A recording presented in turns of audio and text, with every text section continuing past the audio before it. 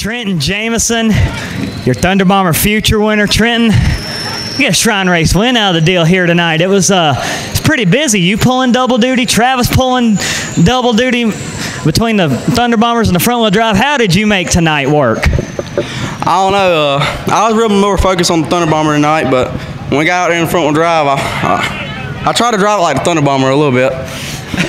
yeah, those those cars handle a little bit differently. Um, what about this this future season you're having is fantastic. It has uh, come together in just about every way you could probably want.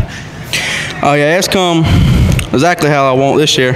Uh, win after win after win. I mean, I really just gotta thank everybody, my papa, my dad, Frankie, uh, all my sponsors, uh, almost anything towing, the window source, uh, White Wing, C1, C2, uh, Bubba Small Engine Repair, Simmons Lawn Care, and Jones Photography.